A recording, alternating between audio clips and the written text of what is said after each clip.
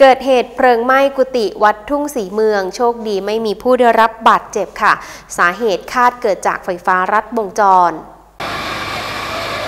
วันที่ 2 สิงหาคม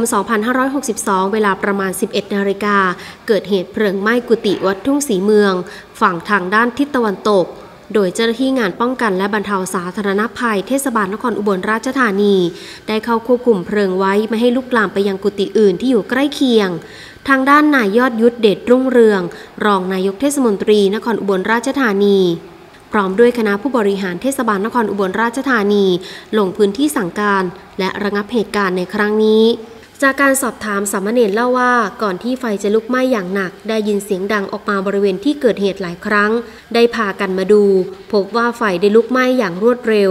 ควันพวยพุ่งออกมาด้านนอก โชคดีที่ช่วงเกิดเหตุ พระเนนไม่อยู่ในกุฏิเนื่องจากเป็นช่วงฉันเพลนสันนิษฐานเบื้องต้นน่าจะมาจากไฟฟ้าลัดวงจร ประกอบกับกุฏิเป็นอาคารไม้เครื่องปูน ไฟจึงลุกไหม้อย่างรวดเร็ว ส่วนสาเหตุเพลิงไหม้ต้องรอการพิสูจน์จากเจ้าหน้าที่ต่อไป